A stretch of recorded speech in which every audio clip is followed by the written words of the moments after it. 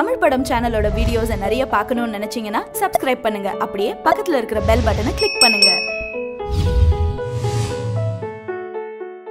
பையா பீச்சாங்கை படங்கள்ல வில்லனா நடிச்சவர் தான் பொன்முடி. இவர் இப்ப சோமபான ரூபச்சந்திரம் அப்படிங்கிற படத்துல இயக்குனர் அவதாரம் எடுத்திருக்காரு. இதுல ஐஸ்வர்யா தத்தா ஹீரோயினா நடிக்கிறாங்க.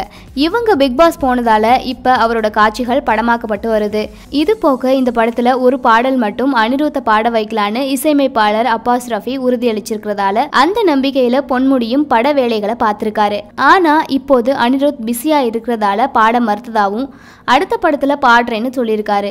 இதை கேட்ட இயக்குனர் பொன்முடி அளவுக்கு அதிகமான மாத்திரைகளை சாப்பிட்டு தற்கொலை முயற்சி செய்து அவரோட உதவி இயக்குனர்களால் காப்பாற்றப்பட்டிருக்காரு.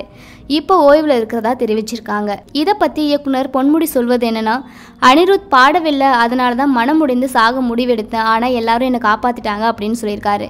இந்த பிரச்சனைக்கு தீர்வு கிடைக்குமா அப்படிங்கிறது எனக்கு தெரியல அப்படிங்கிற விஷயத்தையும் சொல்லியிருக்காரு. இசையமைப்பாளர் அனிருத் பாட மறுத்ததால தான் இயக்குனர் பொன்முடி இந்த முடிவு எடுத்திருக்காரு.